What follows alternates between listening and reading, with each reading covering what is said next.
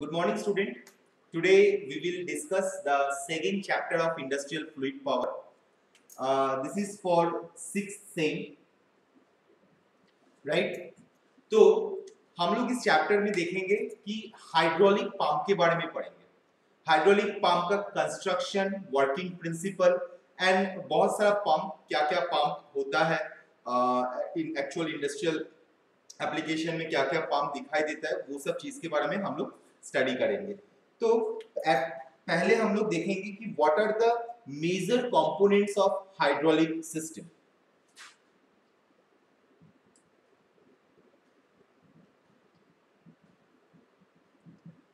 hydraulic system का जो major component है फ़र्स्ट है रिजर्वर फ़र्स्ट है रिजर्वर रिजर्वर मतलब क्या है? एक बेसिक हमने लेआउट बना रहे ओके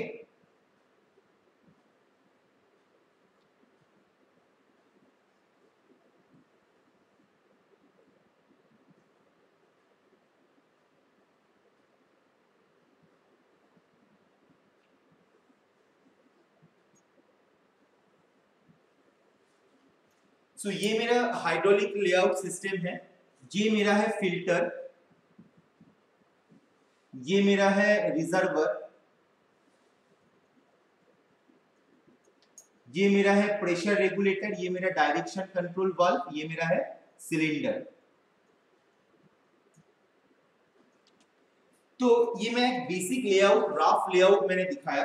तो मेरा हाइड्रोलिक सिस्टम का जो मेजर कंपोनेंट से रिजर्वर है, सेकंड वन है pump and prime mover. Pump and prime mover right third one है accessories accessories fourth one है pressure control valve fourth one है pressure control valve pressure control और relief valve relief valve and six one है control and regulating world control and regulating control and regulating world and cylindrical cylindrical motor cylindrical motor तो ये सात parts जो sorry छह को, जो parts है, ये छह को कंपोनेंट है major component of the hydraulic system semester examination में क्वेश्चन आता है what are the major component of hydraulic system जिसमें हम लोग लिखेंगे reservoir pump and prime mover accessories pressure control और relief valve control and regulating valve cylindrical cylindrical motor cylindrical sorry cylindric cylinder okay मैं यहाँ पे गलत लिख दिया था सिलेंडर ओके तो अगर मैं लेआउट सिस्टम में जाऊँगा तो रिजर्वर मेरा क्या करता है? रिजर्वर मेरा जो इंडस्ट्रियल एप्लीकेशन में जो मेरा ऑयल को, जो मेरा फ्लूइड मुझे लगता है, जो फ्लूइड का पावर मुझे इस्तेमाल करना पड़ता है, वो फ्लूइड को रिजर्वर स्टोर करता है। इसीलिए इसको बोला जाता है oil storage tank pump and prime mover क्या करता है? ये मेरा है prime mover sorry pressure regulating bulb यहाँ पे एक मोटर रहता है। यहाँ पे एक मोटर रहता है और यहाँ पे एक पंप रहता है। तो पंप एंड प्राइम मूवर का काम क्या है? ये मेरा पंप है। पंप एंड प्राइम मूवर का काम है कि पंप एंड प्राइम मूवर की जो आगे वाला पोर्शन है, ये मेरा पंप है, इसका जो आगे वाला पोर्शन में एक सक्शन क्रिएट करता है। जब भी मेरा मोटर ऑन होगा, मोटर ऑन होगा तो मेरा पंप ऑन होगा, पंप ऑन होगा तो इस पोर्शन में एक वैक्यूम क्रिएट करेगा, सक्शन क्रिएट होगा। उस वैक्यूम क्रिएट की वजह से पाइप यहाँ पे जितना सारा मेरा ऑयल था, वो ऑयल इस पाइपलाइन के थ्रू से आगे बढ़ेगा। पाइपलाइन के थ्रू से फॉरवर्ड मूवमेंट करेगा। नेक्स्ट मेरा क्या है? एक्सेसरीज एक्सेसरीज देखो, यहाँ पे filter is a accessories actuator जो सिलेंडर के यहाँ पे जो एक्चुएटर रहता है, वो एक्चुएटर मेरा एक्सेसरीज है। तो ये एक मेजर पार्ट है। प्रेशर कंट्रोल और relief valve this is my pressure control और रिलीफ वाल्व मतलब ऑयल को हमेशा ऑयल इज़ इनकॉम्प्रेसिबल बट उसको एक सर्टेन कंप्रेस्ड करके पाइप के अंदर से लेके जाना पड़ता है। That's why pressure regulating valve pressure को कंट्रोल करने के लिए मेंटेन किया जाता है।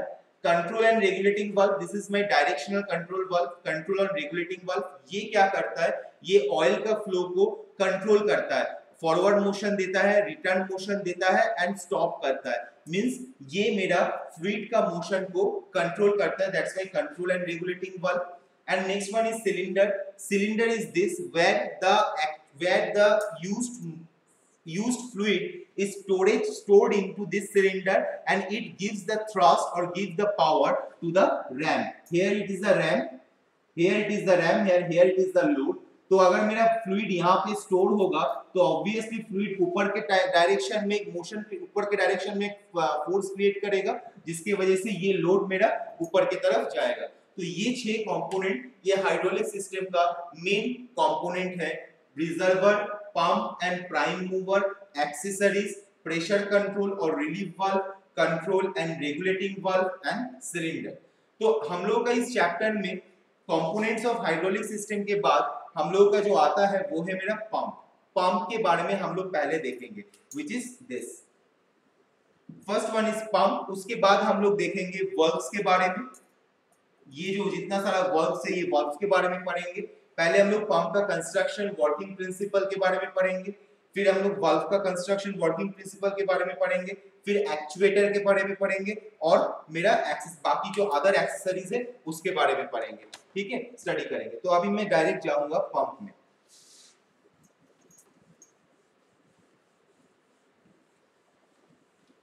पंप क्या है? पंप एक जैसे ह्यूमन बींग का जो हार्ट होता है, वो एक heart is a main important component of the body वैसे पंप भी होता है, एक बहुत ही important component of this hydraulic system means pump को हम लोग का ह्यूमन बींग का हार्ट के साथ कंपैरिजन किया जा सकता है, क्योंकि अगर पंप नहीं रहेगा तो जो रिजर्वर टैंक से जो ऑयल मुझे चाहिए, वो ऑयल मेरा आगे तक नहीं जा पाएगा और हम लोग ऑयल का जो आई मीन फ्लूइड का जो पावर मुझे जितना चाहिए, वो मैं फ्लूइड का पावर अचीव नहीं कर पाऊँगा। तो पंप को हम लोग दो पार्ट में डिस्ट्रीब्यूट करते हैं। पंप को हम लोग दो पार्ट में डिस्ट्रीब्यूट करते हैं। एक है मेरा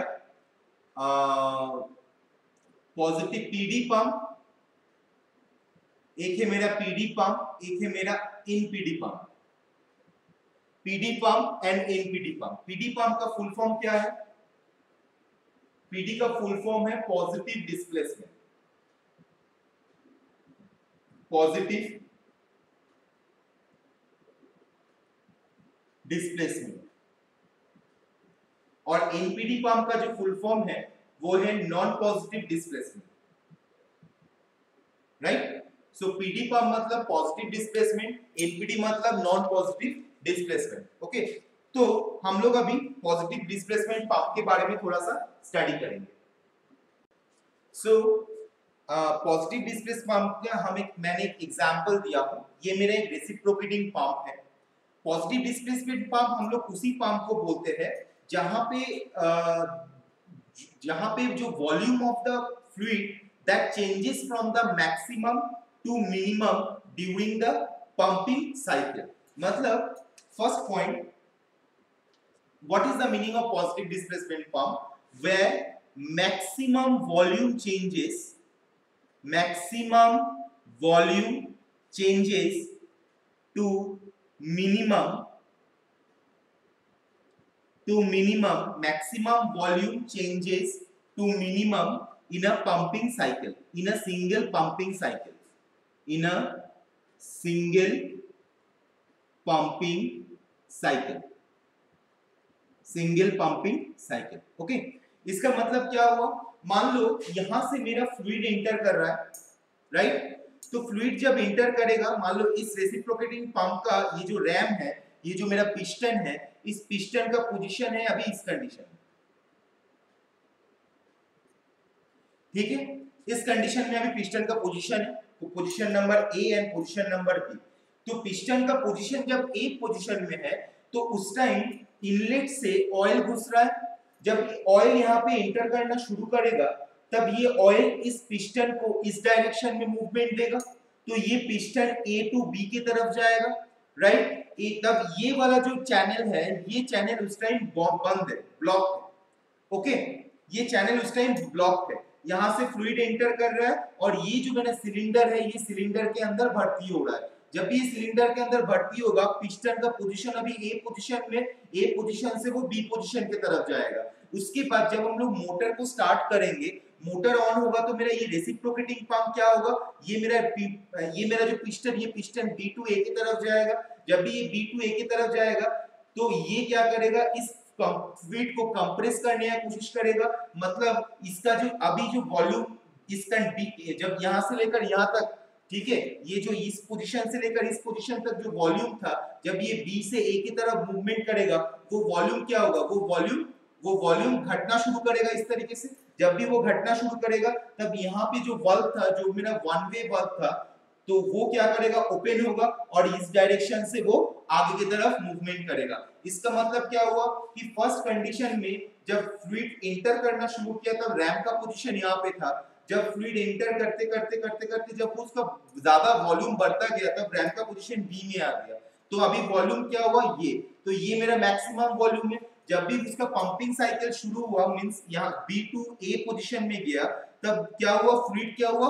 फ्लूइड मेरा कंप्रेस्ड हो गया। देखो यहाँ पे फ्लूइड मेरा कंप्रेस्ड हो गया। जब भी मेरा कंप्रेस्ड होगा, उसकी वजह से उसका वॉल्यूम क्या होगा? मिनिमम वॉल्यूम में आ जाएगा। Maximum volume changes to the minimum और यहाँ पे जो चैनल है, उस चैनल का जो वाल्व था वन वे वाल्व है, वो वन वे वाल्व ओपन हो जाएगा। वन वे वाल्व ओपन होने की वजह से फ्लूड क्या करेगा इस चैनल से, बाहर की तरफ़ चल जाएगा मीन आगे का सिस्टम की तरफ़ चल जाएगा। So first point is maximum volume change to minimum in a single piping cycle okay so next is this positive displacement pumps are used where pressure is the primary consideration so second point it is used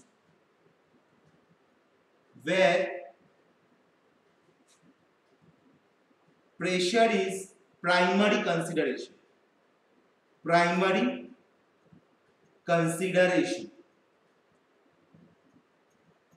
So, इस type का positive displacement pump में क्या होता है कि pressure को primary consideration दिया जाता है।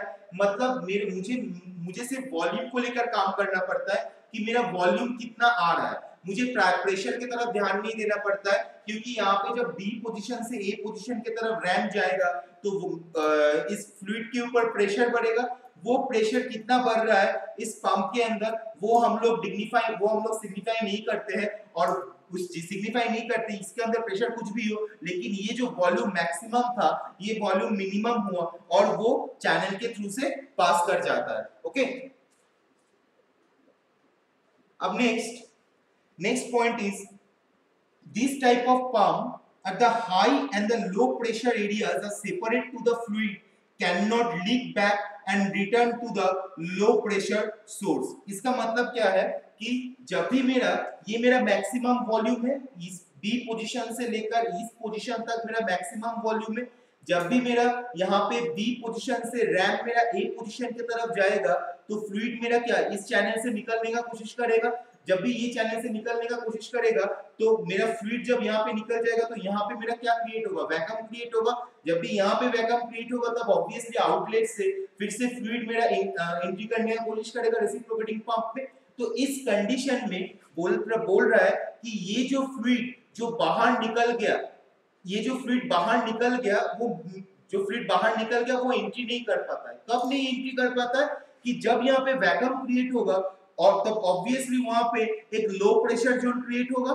तो लो प्रेशर जोन क्रिएट होने के बावजूद भी यहाँ का जो फ्लूड जो बाहर चल जा रहा है, वो फ्लूइड फिर से इस आउटलेट पंप पाइप से एंटर नहीं कर पाएगा। So these are the most important consideration of this positive displacement pump कि मेरा जो the high and low pressure areas are separated to that the fluid cannot leak back and return to the low pressure source, right? Third point is high pressure zone high pressure zone and low pressure zone are separated are separated क्यों separated है ये क्योंकि अगर separated नहीं रहेगा तो जो fluid इस पाइपलाइन से बाहर चल गया था वो फ्लूइड एंट्री कर जाएगा तो फिर इसीलिए बोला जा रहा है कि इस पॉजिटिव डिस्प्लेसमेंट पंप में high separated zone and low sorry high pressure zone and low pressure zone को सेपरेटेड किया जाता है due to the one way control due to the valve के द्वारा ये सेपरेटेड रहता है ताकि जो फ्लूइड मेरा पास कर गया, जो फ्लूइड प्रेशर लेके इस आउटलेट चैनल से निकल गया, वो फ्लूइड फिर से लीक होके इस लो प्रेशर जोन पे एंट्री नहीं कर पाए इसके लिए अगर लो प्रेशर जोन पे एंट्री कर पाएगा तो बार बार एक ही फ्लूइड को हम लोग को कंप्रेस करना पड़ेगा। तो इसीलिए ये high pressure zone and low pressure zone को सेपरेट कर दिया जाता है ताकि जो फ्लूइड मेरा कंप्रेस होके निकल जा रहा है वो फ्लूइड फिर से सिलेंडर के अंदर वापस ना आ जाए। Okay next point is fluid moves through the pumping chamber, volume increases and is finally reduced, causing it to be expelled. मैंने पहले ही बोला था, जब भी मैंने यहाँ पे फ्लूइड एंटर करता है पिस्टन का पोजीशन अभी ए है। अभी मान लो फ्लूइड एंटर नहीं किया तो जब भी फ्लूइड एंटर करना शुरू करेगा तो इस पिस्टन के ऊपर प्रेशर आएगा पिस्टन ए से बी की तरफ़ जाएगा तो मेरा वॉल्यूम बढ़ा। तो जब भी मेरा फ्लूइड एंट्री किया तो वॉल्यूम बढ़ा। अब मैंने जब मोटर को ऑन करूँगा, मेरा पंप मेरा ऑन होगा पंप ऑन होगा तो पिस्टन बी से ए की तरफ़ मूवमेंट करेगा रेसिप्रोकेटिंग वे में। डी से ए की तरफ़ मूवमेंट करेगा तो फिर यहाँ पे प्रेशर मेरा मैक्सिमम वॉल्यूम था, वो मेरा मिनिमम वॉल्यूम में होगा। ये मैं पहले ही बता दिया था। Next point is the volume per cycle is fixed by the positive displacement characteristics of the plumbing pumping chamber the volume of fluid pump for a given pump size is depending on the number of cycle made by the pump per unit time मतलब क्या बोल रहा है कि ये जो मेरा volume जो मेरा पहले मेरा एक्सपैंड हुआ, उसके बाद फिर मेरा ये डिक्रीज हुआ। पहले मेरा एक्सपैंड हुआ, उसके बाद जो डिक्रीज हुआ, ये मेरा रेसिप्रोकेटिंग पंप के वजह से हो रहा है। और यहाँ पे जो पिस्टन का जो डिस्प्लेसमेंट है why it is called positive displacement का पंप बिकॉज़ जो पिस्टन का जो डिस्प्लेसमेंट हो रहा है that is positive displacement pump right that is positive displacement pump क्योंकि पिस्टन का जो मूवमेंट हो रहा है, वो पिस्टन का जो डिस्प्लेसमेंट हो रहा है वो मेरा कब डिस्प्लेसमेंट हो रहा है? जब मेरा मोटर ऑन हो रहा है, तब पिस्टन का मूवमेंट पॉजिटिव डिस्प्लेसमेंट हो रहा है। किसके बेसिस पे हो रहा है? क्योंकि ये मैक्सिमम वॉल्यूम ऑफ़ फ्लूइड को minimum volume of minimum volume of fluid में कन्वर्ट करने के लिए ये मेरा पॉजिटिव डिस्प्लेसमेंट हो रहा है। Okay now what are the example of this positive displacement pump? Positive displacement pump का example है Example of the positive displacement pumps, screw pump, vane pump, um, reciprocating pump,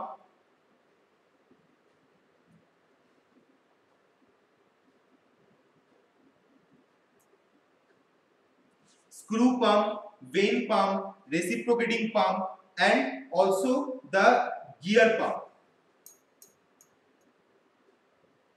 gear pump तो ये चार type का pump का example है which are the which are my positive displacement pump okay so what are the advantages of this positive displacement pump positive displacement pump का जो advantage है first one it is widely used in the hydraulic system means जो मेरा जो hydraulic system है उसमें बहुत ज़्यादा यूज़ होता है ये पॉजिटिव डिस्प्लेसमेंट पंप क्योंकि यहाँ इस पॉजिटिव डिस्प्लेसमेंट पंप पे क्या होता है कि जो मैक्सिमम वॉल्यूम होता है, वो maximum volume of the fluid को minimum volume of the fluid में हम लोग ट्रांसफ़र कर सकते that's why this type of positive displacement pump used in widely in the hydraulic system second one they can generate high pressure obviously because जब volume of fluid entry कर रहा है इस सिलेंडर के अंदर, और जब भी मोटर स्टार्ट होने की वजह से मेरा पिस्टन स्टार्ट हो रहा है तो पिस्टन क्या कर रहा है? बी पोजीशन से लेकर ए पोजीशन की तरफ़ जा रहा है। तो जो प्रेशर हो रहा है, वो प्रेशर मेरा हाई प्रेशर जनरेट कर रहा है। इसकी वजह से ये पॉजिटिव डिस्प्लेसमेंट पंप की वजह से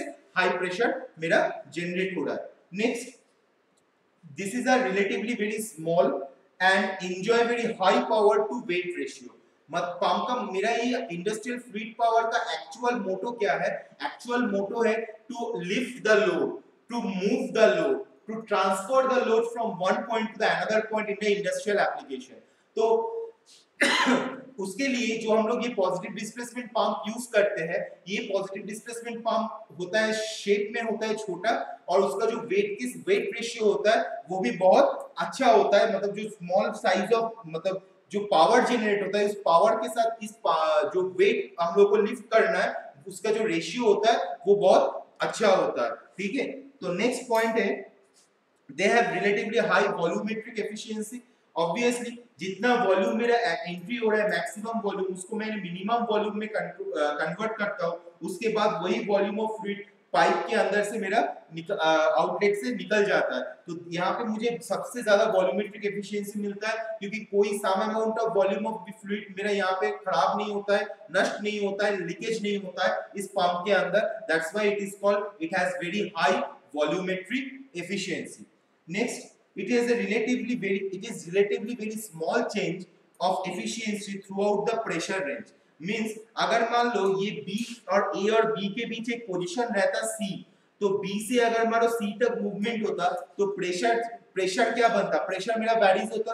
बी से अगर ए के तरफ़ ए पोजीशन तक अगर पिस्टन जाता फ्लूइड के अंदर जो प्रेशर होता, और बी से सी पोजीशन के अंदर सी तक अगर पिस्टन आता, जितना प्रेशर होता फ्लूइड का, दोनों तो सेम नहीं होता। तो ऑब्वियसली ये पिस्टन का मूवमेंट के ऊपर फ्लूइड का प्रेशर रेंज चेंज हो सकता है। तो अगर मैं पिस्टन का मूवमेंट को कंट्रोल वाल्व के थ्रू से, अगर मैं वेरियस पोजीशन पे अगर फिक्स कर सकता हूँ थ्रू आउट द मोटर तो मेरा ये जो volume volume maximum volume to minimum volume होता है तो वो मैं उसके उसके अंदर जो प्रेशर का जो रेंजेस चेंजेस होता है, वो रेंज चेंजेस ऑफ़ रेंज को हम लोग कंट्रोल कर सकते। इसका मतलब एग्जांपल अगर मेरा 100 परसेंट कंप्रेस होता है प्रेशर तो अगर बी से ए के बी से ए तक पिस्टन जाने के लिए अगर मेरा 100% प्रेशर चेंजेस होता है तो मैं बी से सी तक जाने के लिए 50% होता है। तो ये जो प्रेशर रेंज जो चेंज हो रहा है, ये हम लोग पॉजिटिव डिस्प्लेसमेंट पंप में कर सकते हैं। और next is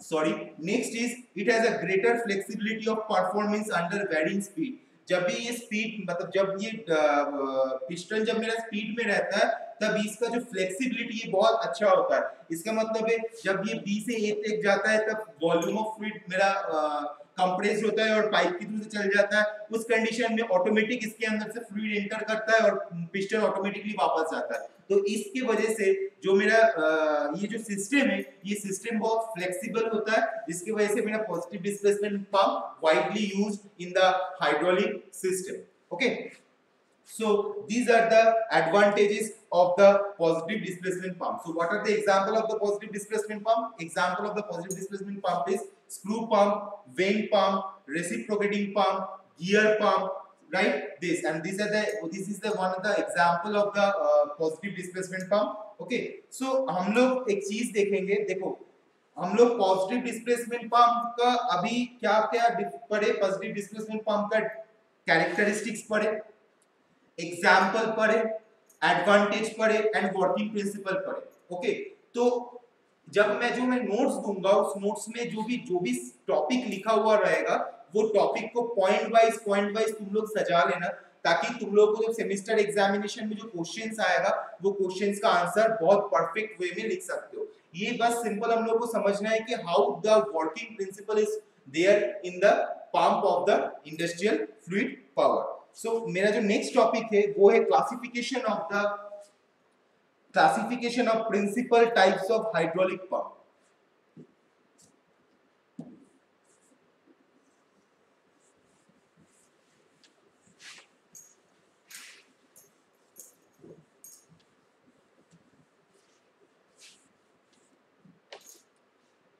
Classification of the principal types of the hydraulic pump.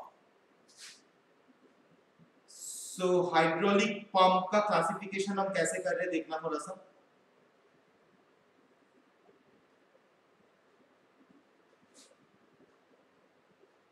First one pump को हम लोग दो पार्ट में डिस्ट्रीब्यूट करते हैं। एक है पीडी पॉजिटिव डिस्प्लेसमेंट एक है एनपीडी नॉन पॉजिटिव डिस्प्लेसमेंट अब पॉजिटिव डिस्प्लेसमेंट पंप को हम लोग दो पार्ट में डिस्ट्रीब्यूट करते हैं। एक है मेरा रोटारी एक है मेरा reciprocating rotary and reciprocating okay now rotary pump को हम लोग तीन पार्ट में डिस्ट्रीब्यूट करते हैं. Gear screw gear screw and vane. And reciprocating pump को हम लोग दो पार्ट में डिस्ट्रीब्यूट करते axial and radial axial and radial तो हाइड्रोलिक पंप को मैंने दो पार्ट में डिस्ट्रीब्यूट किया। क्या क्या? Positive and non positive and उस पॉजिटिव को हम लोग दो पार्ट में डिस्ट्रीब्यूट किया। रोटरी रेसिप्रोकेटिंग रोटरी को तीन पार्ट में डिस्ट्रीब्यूट किया। Gear screw and vane reciprocating को दो पार्ट में डिस्ट्रीब्यूट किया एक्सियल एंड रेडियल राइट तो अब गियर को भी हम लोग बहुत सारा पार्ट में डिस्ट्रीब्यूट करते हैं। गियर को हम लोग डिस्ट्रीब्यूट करते हैं। External internal and gerotor gerotor G E O R gerotor ठीक है? तो गियर पंप को हम लोग तीन पार्ट में डिस्ट्रीब्यूट करते हैं। External internal and gerotor vane को हम लोग दो पार्ट में डिस्ट्रीब्यूट करते हैं। वेन को हम लोग दो पार्ट में डिस्ट्रीब्यूट करते हैं that is and uh, variable displacement fixed displacement fixed and variable fixed and variable. And fixed pump को हम लोग दो पंप दो पार्ट में डिस्ट्रीब्यूट करते हैं। First one is balanced balanced and unbalanced. Balanced and unbalanced. Okay and axial ये जो रेसिप्रोकेटिंग पंप हम लोग दो पार्ट में डिस्ट्रीब्यूट किए थे एक्सियल एंड रेडियल एक्सियल को हम लोग दो पार्ट में डिस्ट्रीब्यूट करते हैं एक है मेरा इनलेट एक है मेरा bent axis bent axis inlet को हम लोग तीन पार्ट में डिस्ट्रीब्यूट करते हैं। इनलेट को हम लोग तीन पार्ट में डिस्ट्रीब्यूट करते हैं। First one is variable inclinable and crankshaft variable inclinable inclinable and crankshaft and bent axis को हम लोग और कोई पार्ट में डिस्ट्रीब्यूट नहीं करते बट रेडियल पोजिशन को इसको हम लोग दो में डिस्ट्रीब्यूट करते हैं stationary rotate uh, stationary and rotating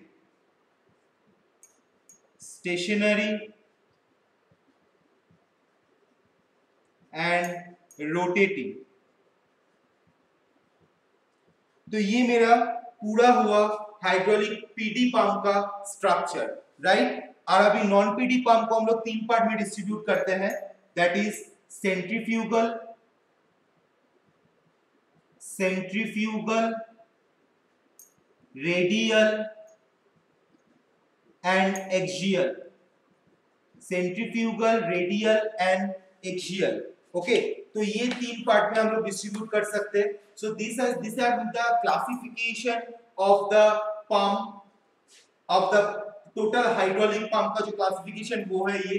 hydraulic pump को मैं और एक बार रिपीट कर रहा हूँ। हाइड्रोलिक पंप को हम लोग दो पार्ट में डिस्ट्रीब्यूट करते हैं। Positive displacement pump non positive displacement pump positive displacement pump को हम लोग दो पार्ट में डिस्ट्रीब्यूट करते हैं। एक है मेरा रोटरी दूसरा है मेरा रेसिप्रोकेटिंग रोटरी को तीन पार्ट में डिस्ट्रीब्यूट करते हैं। Gear screw and vane pump rotary को हम लोग तीन पार्ट में डिस्ट्रीब्यूट करते हैं। गियर स्क्रू वेन गियर को तीन पार्ट में डिस्ट्रीब्यूट करते हैं। External internal and gerotor vane को हम लोग तीन पार्ट में डिस्ट्रीब्यूट करते that is fixed and variable fix को दो पार्ट में डिस्ट्रीब्यूट करते बैलेंस अनबैलेंस्ड राइट एंड उसके बाद रेसिप्रोकेटिंग पंप रेसिप्रोकेटिंग पंप को हम लोग दो पार्ट में डिस्ट्रीब्यूट करते एक्सियल एंड रेडियल एक्सियल को दो पार्ट में डिस्ट्रीब्यूट करते इनलेट बेंट एक्सिस इनलेट को तीन पार्ट में डिस्ट्रीब्यूट करते variable inclinable crankshaft and radial को दो पार्ट में डिस्ट्रीब्यूट करते हैं स्टेशनरी एंड रोटेटिंग एंड उसके बाद non positive displacement displacement pump को हम लोग तीन पार्ट में डिस्ट्रीब्यूट करते हैं सेंट्रीफ्यूगल रेडियल एक्सियल ये क्लासिफिकेशन हम लोगों का सेमेस्टर एग्जामिनेशन में फ्री मार्क्स का आता है तो हम लोग को ये पूरा जो जितना पार्ट में डिस्ट्रीब्यूट कर सकते हैं, वो हम लोगों को याद करके रखना पड़ता है, ताकि हम लोग ये फ्री मार्क्स को हम लोग को छोड़ना नहीं चाहिए। बहुत ही इजी है हाइड्रोलिक पंप को दो पार्ट में पीडी एनपीडी पीडी को दो पार्ट में रोटरी रेसिप्रोकेटिंग रोटरी को तीन पार्ट में गियर स्क्रू वेन गियर को तीन पार्ट में एक्सटर्नल इंटरनल जियोरेटर वेन को दो पार्ट में फिक्स्ड वेरिएबल फिक्स्ड को दो पार्ट में बैलेंस अनबैलेंस और रेसिप्रोकेटिंग को हम लोग दो पार्ट में एक्सियल रेडियल एक्सियल को दो पार्ट में इनलेट बेंड एक्सिस रेडियल को दो पार्ट में स्टेशनरी एंड रोटेटिंग इनलेट को फिर दो, तीन पार्ट में वेरिएबल इंक्लाइनेबल क्रैंकशाफ्ट और नॉन पीडी को हम लोग तीन पार्ट में डिस्ट्रीब्यूट करते हैं centrifugal radial and axial so these are the classification of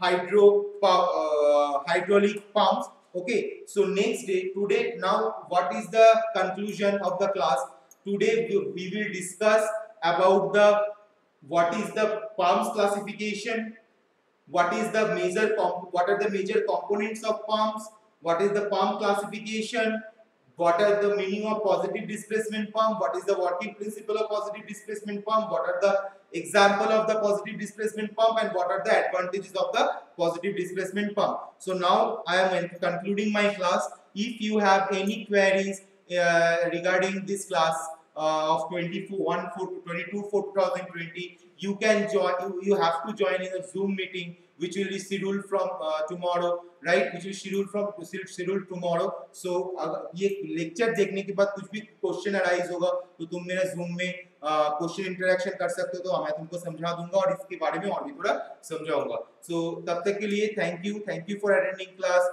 stay home and safe life thank you